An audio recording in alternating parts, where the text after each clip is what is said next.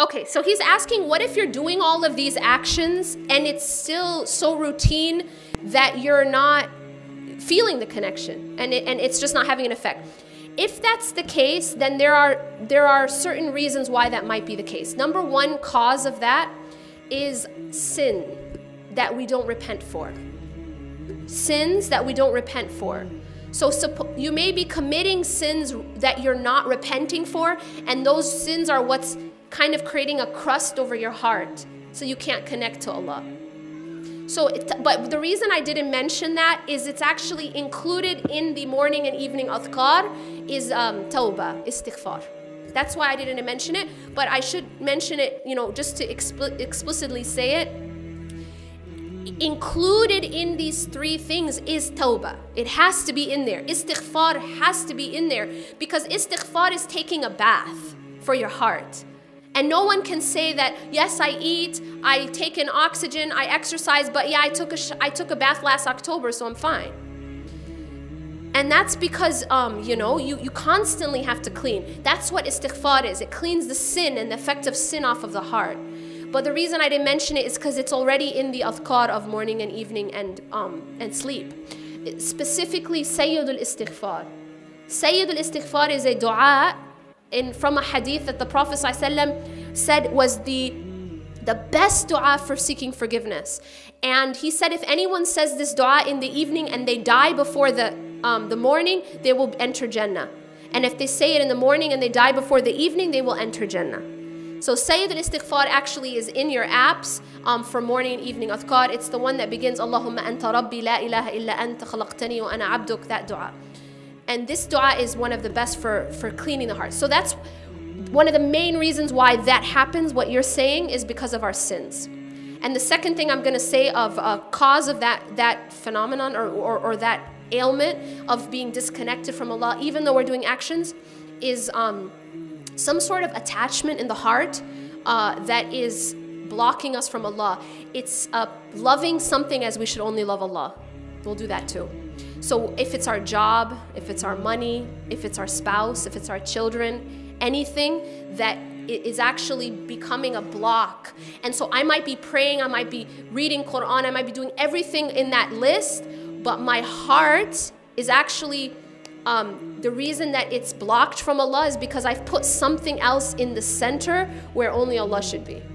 And sometimes it might be my career, it might be my job, could be school, could be, you know, my spouse. That's another reason why that happens. You're not praying.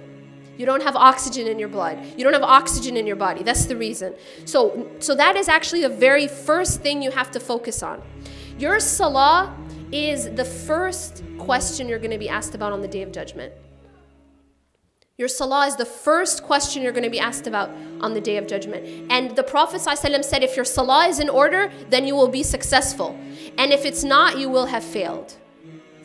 Okay? So that's actually that one should have been number one. And number two was the dua app. Okay? But it doesn't matter. The point is these are the two.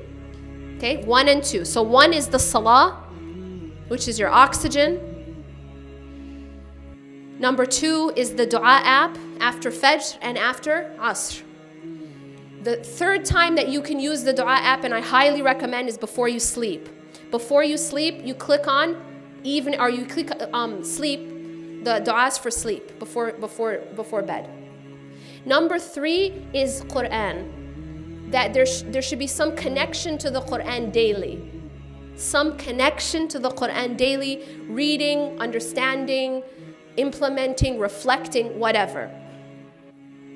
These three things, if you do them, if you do these three things, it, it, it's it's like putting on an armor, layers and layers of, of armor when you go on a battlefield. And if you aren't doing these things, I'll tell you what it's like. It's like a person who has no oxygen, no armor, and goes out to the battlefield. Anyone know what's going to happen to them? Okay, they're not breathing and they don't have any armor. How long are they going to last?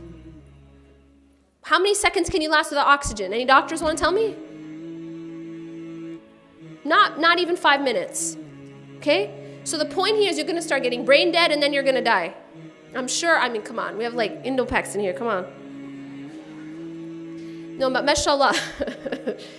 so we you're gonna you're gonna the oxygen's gonna be out of your bloodstream. Right? And then you have no armor, so you're gonna be shot down.